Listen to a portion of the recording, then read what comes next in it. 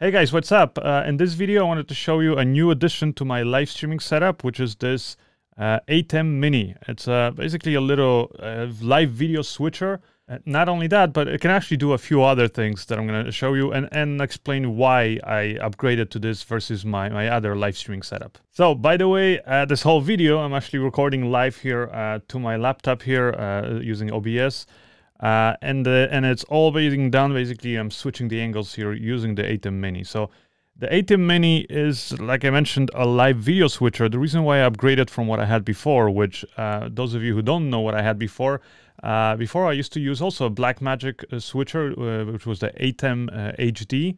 Uh, it was a great switcher, uh, and it's good if you just care about you know being able to switch to different camera angles, and it has um, actually more inputs because it has four HDMI and four SDI. Now, once I actually wanted to stream that video live to YouTube, Facebook, or whatever it is that you want to stream it to, then I actually needed to get uh, something else, which is also from Blackmagic, and that, that was the uh, Blackmagic Web Presenter. And essentially, what that allowed me to do is to take any video signal, and that my previous setup is to take it from the ATEM HD switcher plug it into the web presenter, and then the web presenter outputted uh, sort of like a webcam signal. So I could plug in a USB uh, into my computer, and my computer recognized it as a webcam. Uh, but you know, obviously, I had all this other capability in there. Well, now the cool thing is that with the ATEM Mini, it does all of that, and it's a lot smaller. So as you can see, this is literally it. This is this box. It's very light, uh, very thin, also. And uh, what I like about it is that it's meant to be kind of set up actually here on a desk, which for me, this works best because uh, I travel a lot with it when I do like live shows. I do it sometimes from different locations. So I want to be able to have something that's A, very small when I travel with it, and that fast to set up. Now, the, the difference between this and let's say the, the previous uh, Blackmagic ATEM HD switcher that I had is mainly just the fact that that one, like I said, had more inputs because it actually had uh, H, uh, SDI inputs. This one only has HDMI here, you can see in the back. And also the fact that the ATEM HD was sort of meant to be mounted on a kind of a rack system. And that's how I had it set up uh, my, previously. Which again, once you have a whole rack like this, it's not easy to travel with it. Uh, also, I didn't like it because my rack was kind of low, and I wanted something that, like a lot of times when I'm doing this live streaming and stuff like that, I want something that I can operate, and so I needed to have it like right here with me on the desk. Uh, that's the cool thing about the ATEM Mini is that now we have everything in this one thing. Uh, so for example, let's say you just want to use the ATEM Mini for uh, just video switching, then you can do that. As you can see, you have these four different buttons. I can, for example, here, button one, I have switched to my main camera here, which is the, the white camera. And by the way, all the cameras I'm using are from Blackmagic too. So that's the Ursa, uh, Ursa Mini Pro.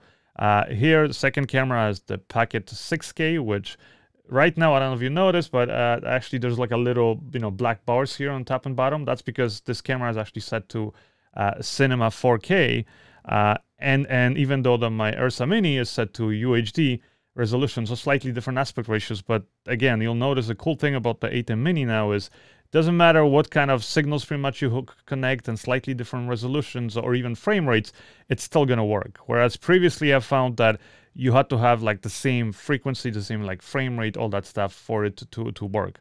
Uh, so now I like the fact that you can have different okay, again, resolutions, frame rates. You can mix and match it, and it all works. Uh, here, angle three is my other camera here that I have that's looking at uh, at the actual ATEM. And then I have angle four, which is literally here going to my laptop. And in the case of like when I'm doing live streams, this is my, my sort of, I'm extending my desktop my laptop. So it allows me to play, for example, videos while I'm, um, while I'm doing the live streams. Uh, you know, so I can have things playing here in the background or, you know, I can make it full screen.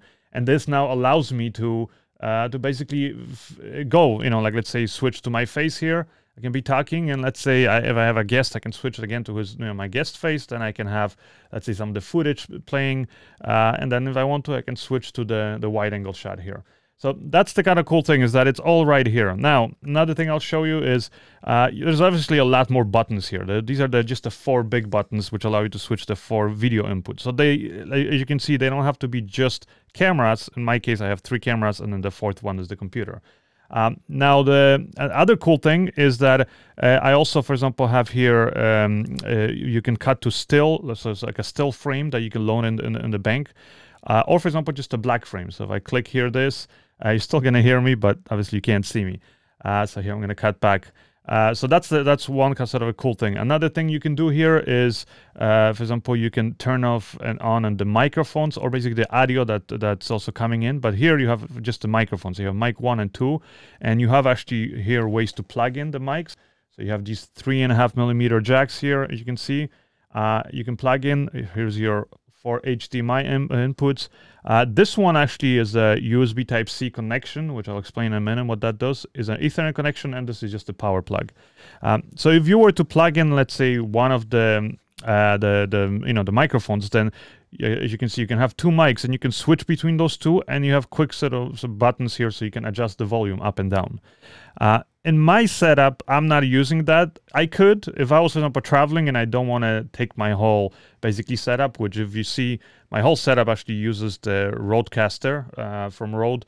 And I find that like if, if I if I'm in my studio, I find this to be the best way to do it because it's just bigger and also because a lot of the live streams that I do now, which by the way, if you didn't know, my live show is back here on my YouTube channel and on top of that, I, I am recording it and I'm outputting it as a podcast. So just, you know, any place where you get your podcast from, just go and type in filmmaking times live or just put in my name, Tom Antos, and it's going to pop up there. So you'll be able to listen to the audio from, from the live streams there. Um, and that's the reason why I use the Rodecaster because it allows me to record this in real time and then I just take out the card, you know, upload it to my, the, the, the podcast here, um, my host. Uh, but in terms of the the video aspect, it's all being done in here. And I, like I said, if I wanted to, I could do the audio mixing here. Uh, obviously, it's you know it's a little bit more limited than doing it through like the the you know the the Rodecaster uh, because the Rodecaster is has more audio inputs, easier way to kind of manage your mixing and all that stuff. Like, for example, have even audio coming in from my computer, which right now I have this little music coming there in the background. So I can mix those things uh, just, you know, a lot easier uh, than, than on the ATEM Mini. But the cool thing is that it still has audio mixing capability. And actually, if you connect this um, through the USB, uh, for example, or the Ethernet to uh, a computer, uh, the ATEM Mini, which in my case right now, uh, well, I have it plugged in, but for something else.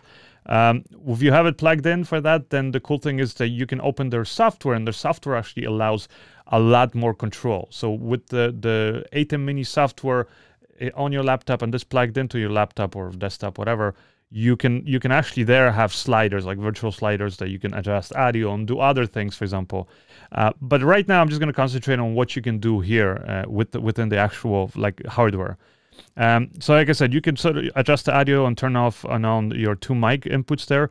Um, you also have, for example, the audio. So you, you, can have audio follows video. So let's say if there's some kind of audio source, like let's say if I'm, I don't know, live streaming uh, me playing a video game or something, and one of the HDMI ports is you know uh, sending video but also audio then i can also adjust the volume of that i can turn off the audio in my case you'll notice all of these are off off off off because i don't want to use any of these audio um, uh, basically inputs up here. But you can do all these things. You can you know reset and stuff. So it's kind of nicely laid out for just the video aspect.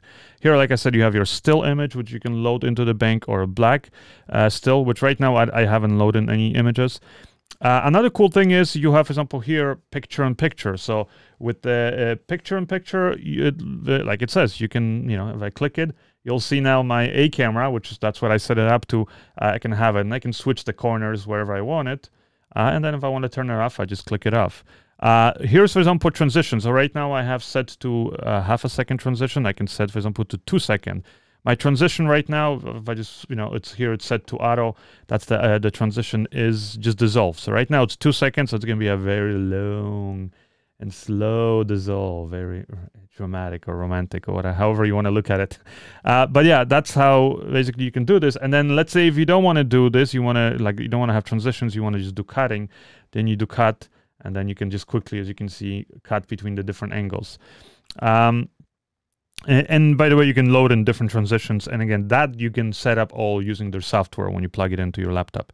Uh, you can do other things. If you can, for example, put in overlays and other things like that. Like if you want to have, uh, let's say, uh, you know, animations or, or uh, you know, I don't know. Let's say your website or your Facebook thing show up. You can have that too. Uh, that's like a little bit more advanced, and you can follow. There's some tutorials that people have done, and actually that Blackmagic has done. Uh, you can follow um, if you want to kind of learn how to do all those things. Uh, but anyways, as you can see, cool little setup now that I have and definitely if I want to travel and let's say do a live streaming show from, let's say if I go, I don't know, to NAB and let's say I want to do something from my hotel room, I can just do this right there using this thing because it's so easy to set up.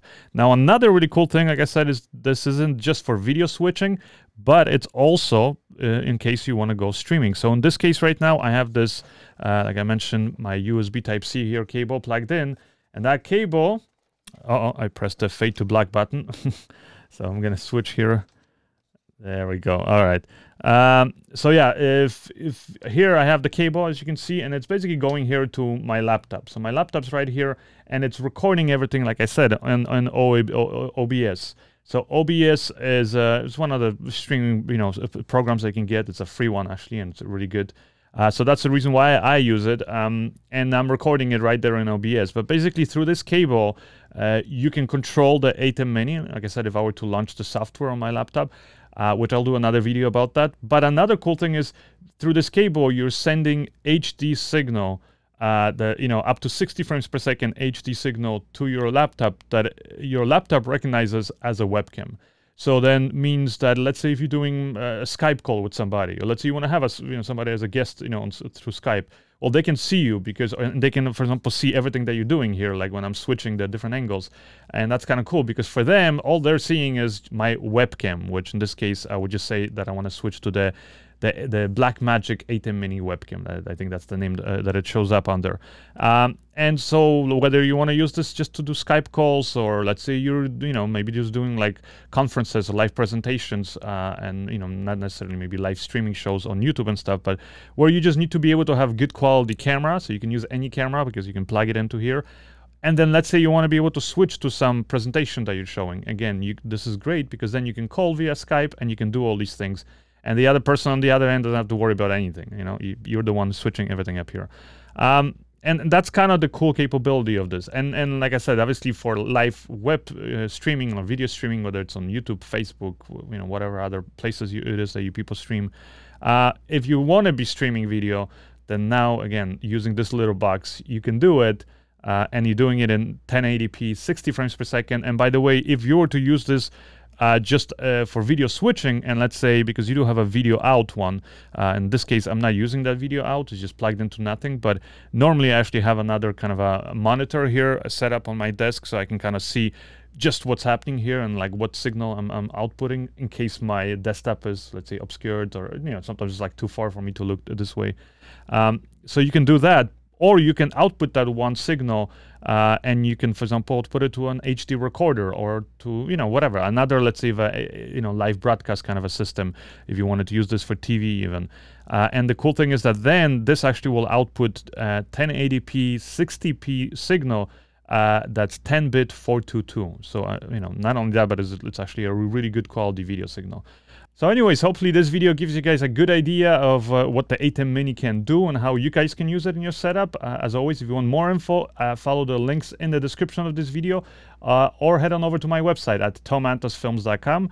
Uh, and uh, yeah, I'm going to put up more specs and information up there. and if you haven't already, make sure you subscribe to my newsletter so you stay up to date with the, the live shows that I'm going to be doing in the podcast and also all the other cool stuff that I, I always release on my website.